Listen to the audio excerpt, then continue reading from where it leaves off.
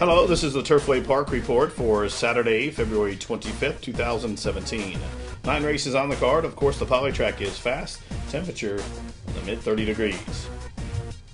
Tonight's first race is a claimant event for the fillies and mares. They'll go one mile.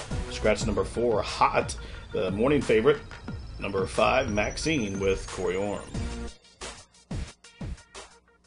They are off in the Saturday evening opener from Turfway and it's Maxine, the favorite, gets the first call. Scrammy broke well, as did Cape Caroline. General's daughter and Holler Wings racing for position for that rail run onto the run to the first turn, and last away early is She's Whistling Dixie. So it's Maxine, the favorite, will clear off, shows the way by two and a half. Harlan's Rings hugs that rail spot in second, hard to picture. Very wide on the course, racing up into third. Towards her inside comes both Scrammy and General's Daughter against the fence. And then the two trailers are Cape Caroline and She's Whistling Dixie. First quarter, they walked it out 26 seconds flat. So up top, it's Maxine shows the way by a length and a half. Harlan's Rings is second. Separation of four links back to Scrammy comes through the inside of Hard to Picture. Then a link for the back there goes Cape Caroline. Cape Caroline has moved from sixth up into a joint third there, and still last is She's Whistling Dixie. Half mile 50 and one. So pedestrian like fractions for Maxine, the big favorite. She heads into the far turn with a two and a half length lead. Harlan's Rings being put to the test there in second.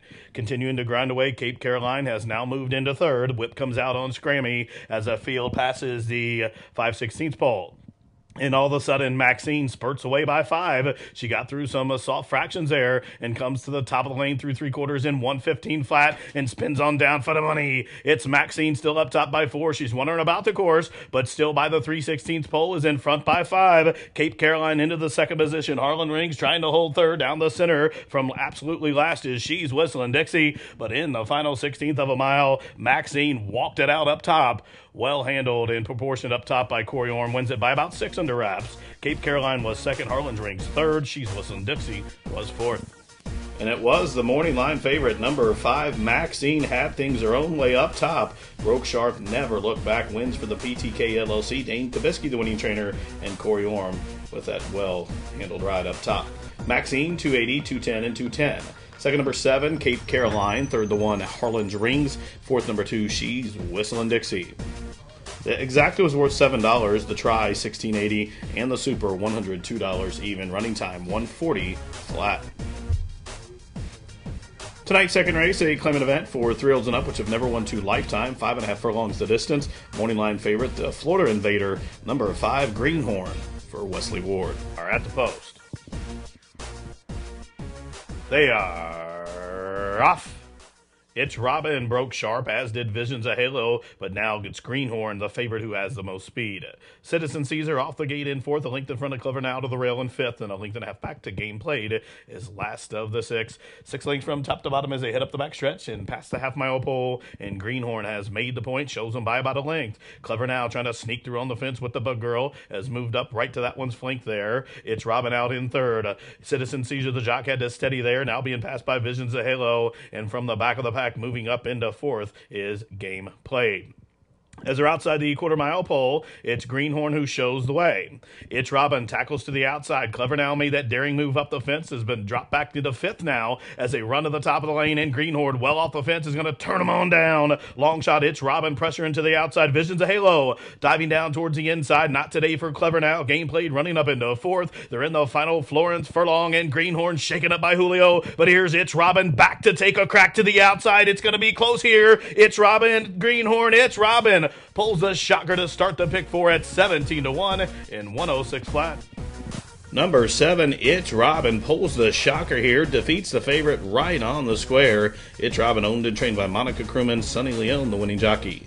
37.80, 7.80, $5 for the winner. Finishing second, number five, Greenhorn. Third, number six, Game Played. And fourth, the four, Visions of Halo. Exacta 84.80, the try, $212.90. Superfecta, 2198 even.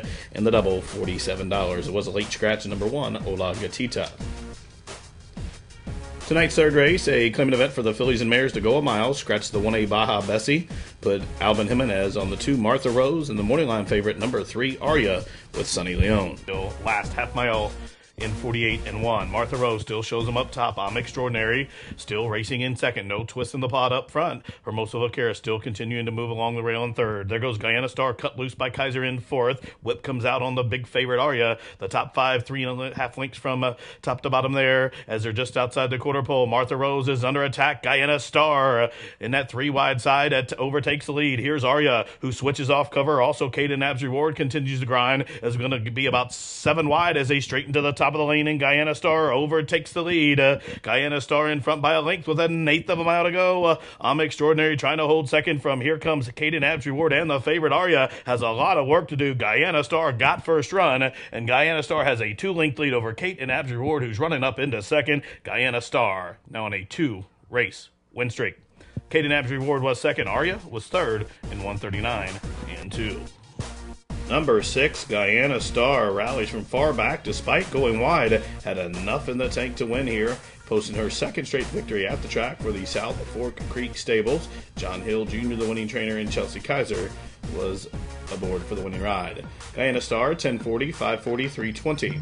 Second, number five, Kate and Abs Reward. Third, number three, Aria. Fourth, one, I'm Extraordinary. The winning exacta, 5380. The try, 10640. Super, $857.80. The daily double, $240.60. And the big three, $150.40. Running time, 139 and 2. Tonight's fourth race, a claiming event for maiden three-year-old, 7,500 the claiming price, six and a half furlongs the distance.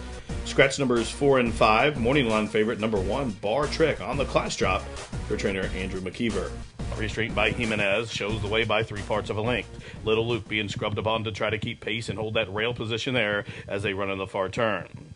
Bar Trick comes through from between horses to be third. Now there goes Paisu cut loose by Mojica as they're just outside the 516th pole. It's Zarman still shows them up top. Bar Trick, the big favorite, probing along the fence there in second. Pie Sale, the whip comes out there in third. It's four links for the back to Little Luke, who throws out the parachute as they run to the top of the lane. And Zarman will turn him on down. Uh, bar Trick's the danger to the inside. These two match strides by the 316th pole. It's Zarman to the outside. Bar Trick being put to the whip to the inside. Three links for the back. Pie Sale is third down the center after the poor start. Oops, I am is fourth. But in the final 16th, Zarman turns back the favorite Bar Trick, and Zarman a monumental victory here as Albin Jimenez gets his 1,000th career victory.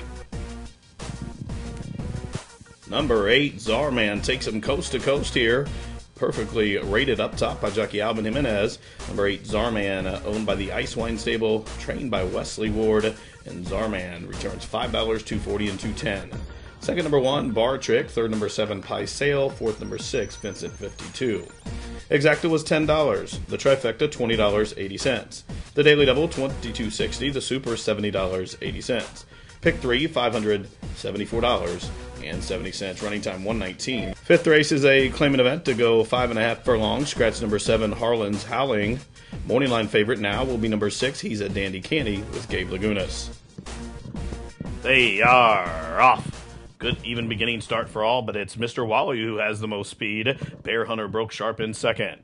Ransom's Love, a close up third. A link for the back, Sir Nicholas is fourth. A length in front of SmackDown. Then a similar margin back to Amazon King and the Gray. He's at Dandy Candy at the back of the pack. Past the half mile pole they go. And Mr. Wally and the Steve Cannon Silk shows the way by a long neck. Ransom's Love uh, puts a bit in outside the three and a half furlong marker there in second. Bear Hunter and the Garcia Silks loops up three wide, third to make it three in a line. Running on from last, he's a Dandy Candy. The Gray is really making progress midpoint through the turn. So they have three and a half furlongs still to go. It's Mr. Wally up top, Ransom's Love in the middle, Bear Hunter on the three wide side. He's a dandy candle. Tacky's Tackles to the outside as they run to the head of the lane.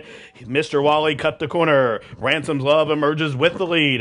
Bear Hunter down the center of the track and the favorite. He's a dandy candy. The gray is fourth, coming at him and coming on in at eighth of a mile to go. And Bear Hunter's found the front. Bear Hunter trying to hold. He's a dandy candy. And Sir Nicholas from the back of the pack down to the wire. Bear Hunter from He's a dandy candy. Bear Hunter gets it done here by a long length there. He's a dandy candy was second. Looked like Sir Nicholas may have gotten third in 106 flat.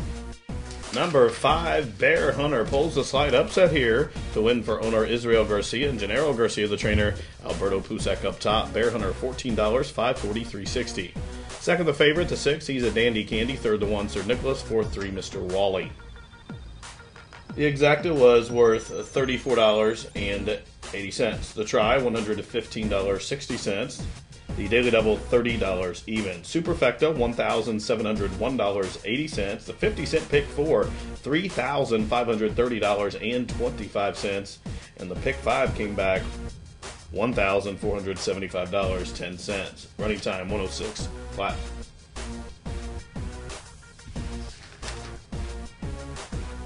Tonight's sixth race is a starter allowance event to go a mile and three quarters.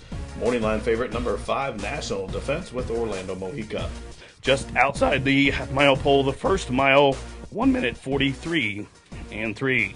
So Shake Your Groove Thing and Alonzo Quinones will show him into the far turn and front by just a length as Cozy Kitten to the inside. It's Shake Your Groove Thing. Up top, the rails open there for Cozy Kitten through from between Horses Hill, Mango Chopo. And now the favorite cut loose by Mojica National Defense is fourth. He's tipped to the three wide side and he's coming with really good momentum outside the quarter pole. So National Defense and Shake Your Groove Thing outside the quarter pole. These two do battle. It's Ain't Too Proud being ridden with the whip to keep pace. The pace is quickening as they run to the top of the stretch.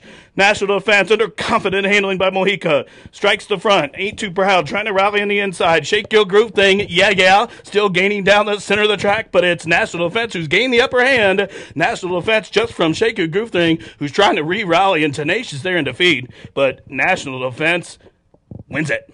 National Defense as the favorite, starts the pick four by a length. Shake a Groove Thing was second, Ain't Too Proud third, and Larry Mullen Curlin was fourth in 303 flat, just off the track record.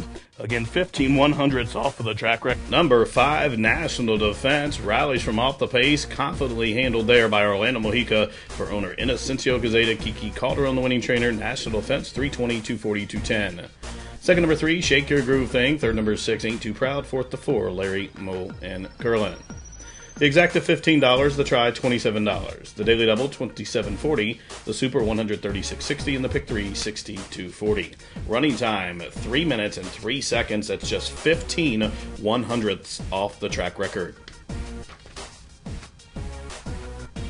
Tonight's seventh race, a claimant event for the fillies and mares to go six and one half furlong. Scratch the one number lady. Morning line favorite number three, Pom Pom Power for trainer Burt Crawford. And they're off. Slow beginning for Strategic Diva, but a fast start as Omnivelli caught a flyer and quickly out of that chute opens up by four. Pom Pom Power off the gate racing in the second position. Towards her inside, Crazy Wild Best close up today. She's third, a length in front of Cobra's Crown, followed up next by CO's sister and then Judson's Pretty Girl on the four wide side. Three links for the back to slow starting Strategic Diva, last of the lot. Nine links from uh, tip to tail here, first quarter 22 uh, and one. Omnivelli and the Bug Girl show the way up top by a link. Pom Pom Power and Jimenez tracking in the second position. Crazy Wild Best puts a bid in, racing along in third up the fence. Two links for the back. It is Cobra's Crown who overtakes fourth. Judson's Pretty Girl continuing that wide angle as they run outside the quarter mile pole. Omnivelli, the big favorite, shows them up top. Here's Pom Pom Pom Power in the second position. Crazy Wild Bess and Rodney Prescott goes to work with the whip there. Cobra's Crown just went by her as they run to the top of the home stretch in Omnivelli. Omnivelli led every step of the way. Pom Pom Power attacks to the outside. These two square off as they're inside the eighth of a mile marker. Omnivelli to the inside. There's Pom Pom Power ratcheting up the pressure to the outside. Cobra's Crown continuing to grind away in third, but down towards the wire. Pom Pom Power He's going to win it for Burt Crawford to give Albin Jimenez two on the card. Cobra's Crown was second there, Omnivelli third in 117 and 1. Number three, Pom Pom Power rallies from off the pace to give Albin Jimenez two wins on the night's card. Pom Pom Power picks up 10th lifetime victory here for owner Burton Sip, trained by Burt Crawford. Pom Pom Power 760, 560, 280. Finishing second, long shot number six, Cobra's Crown. Third pace setting uh, number seven, Omnivelli. And fourth, the eight, Judson's Pretty Girl. The exacta, 178.60. The $1 try, 243.60. The double, $10. The super, 1,157.40. Pick three, 132.20. Running time, 117 and 1. Tonight's eighth race, a allowance event for the three-year-old fillies. They'll race one mile. Morning line favorite number four, Gilded Lily, for owner Tracy Farmer. All set. They are off. Racy Reese wins the break. Kay Hansen uh, showing speed as well, and the favorite Gilded Lily stacks up a three wide third. Spanish Arch tucks in and saves all the ground onto the run of the first turn, and then the two back markers are Never Grow Old and On Her Honor. So it's Kay Hansen out there paving that poly path in front by about a length now. Long shot Racy Reese racing in between horses. Spanish Arch hugs that fence in third. Gilded Lily and the Farmer Silks keen to go on, tugging hard at Jimenez there is up into second, and a link for the back racing along in fifth is On Her Honor, and the Elkstone groups never go old. Last of the lot.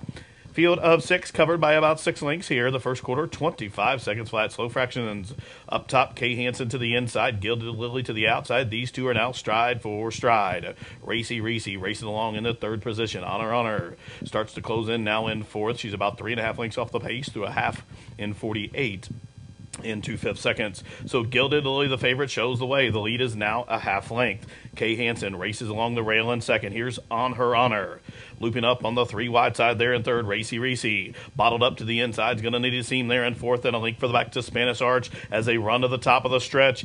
Gilded Lily confronted to the outside by On Her Honor. Kay Hansen still grinding away to the inside. Never Grow Old uh, for the Elkstone group starts to roll from the back of the pack as they straighten for the stretch drive. Three quarters in 112 and 4, and they're on their way home. Uh, it's Gilded Lily still shows the way, shaking up now. On Her Honor trying to hold second there. Kay Hansen lunging through from between horses. Racy Reese as they race down towards the line. Another profound performance by Gilded Lily as she remains razor sharp and undefeated, winning in 138 and 3 and giving Jimenez 3 on the card. Number 4, Gilded Lily. Dominant in victory here, remains razor sharp and undefeated for owner Tracy Farmer. Trained by Mike Maker, his three year old daughter of Speightstown was ridden to victory by Albin Jimenez for his third victory on the card. Gilded Lily, as the favorite, returns 280, 220, 210. Second one, Kay Hansen. Third, six on her honor. And fourth, the five, Never Grow Old.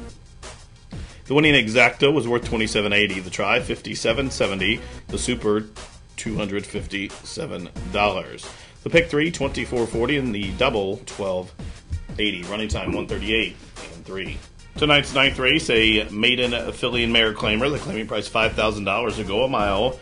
Number seven, Pegasus Kitten for trainer Mike Maker is the morning line favorite.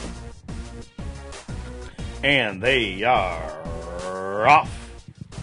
It's all about that base broke sharply, as did Will and Grace. Through from between those two, uh, laughs and giggles. Down on the inside, Devalica and My Kind of Cat hustled up along the rail, has the lead as they race midpoint through the opening turn. My Kind of Cat from the Evans Barn shows away by a length and a half. Laughs and giggles, and the AFM Silks races in second. Devalica tugging hard against the Jock races in third, about a length, length and a half in front of the pair of Will and Grace, and it's all about the base. Then a separation of two will find Orient Betty. To the outside of her is Land, and a link for the back to uh, Sitten Smitten and the favorite is second last Pegasus Kitten has one horse beat, and that is Shamelessly Shy. Strung out field here. They're about 12 lengths from top to bottom. First quarter 24 and 2. They continue the run up the back stretch, and they pass the half mile pole. The first half mile was timed in 48 and 4. My Kind of Cat still shows them up top by 2.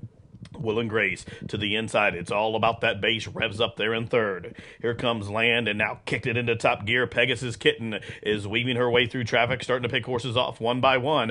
She's moved into fifth. She's three and a half off the lead as they run towards the quarter mile pole. It's my kind of cat still there.